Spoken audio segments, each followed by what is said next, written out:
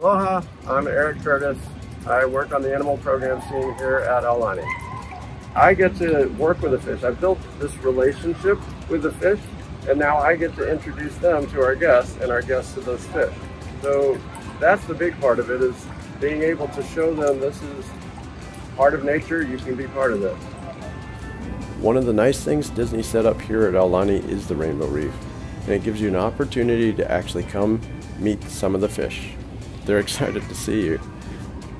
Rainbow Reef is important because this is Hawaii.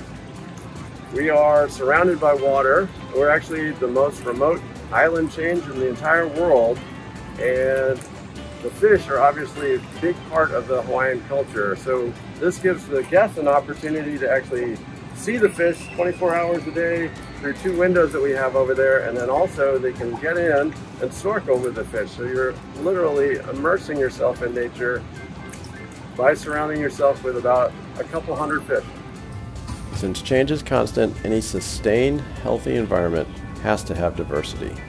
In the oceans, coral reefs are those places with the most potential diversity, so healthy coral reefs represent healthy oceans, which equals healthy earth.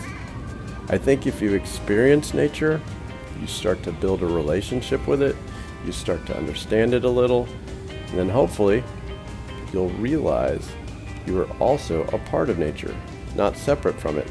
And what you do, or the choices you make, impacts all of it and all of us.